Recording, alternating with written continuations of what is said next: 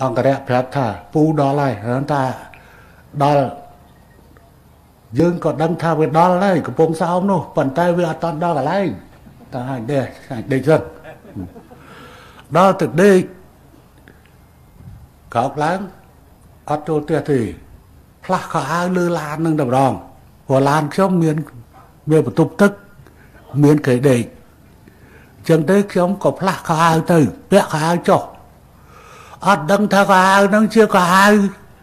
ជំរឹះជាតិអាឡម៉ង់ឯណាអត់ដឹងទេលីគុនថៃនេះគេយកខោអាវហ្នឹងគឺថា Adidas អញ្ចេះគេយកមកព្រោះធ្លាប់តែឃើញខ្ញុំពាក់ខោអាវកីឡាចុះមួយទឹកណា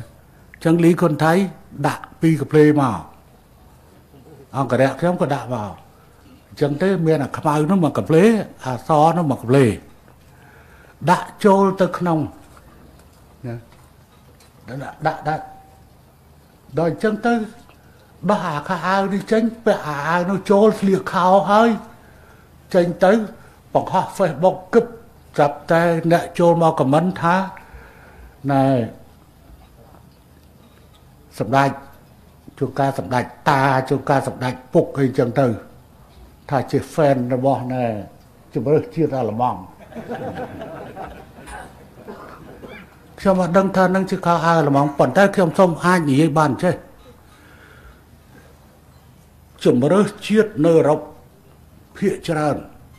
ពាក់ខោអាវដែលផលិតនៅកម្ពុជាផលិតនៅកម្ពុជាតាមរយៈក្រុមហ៊ុន Adidas ក្រុមហ៊ុន Adidas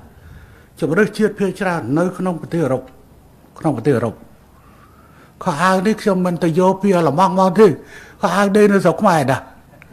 ក៏នៅក្រុមហ៊ុន Adidas ហ្នឹងគឺមកបញ្ជាទិញពីស្រុកខ្មែរហើយយកទៅជំរឿសជាតិភាគច្រើននៅអឺរ៉ុបគឺស្លៀកពាក់ចេញពីកម្ពុជាណែស្លៀកសម្លៀកបំពាក់ដែលផលិតនៅកម្ពុជា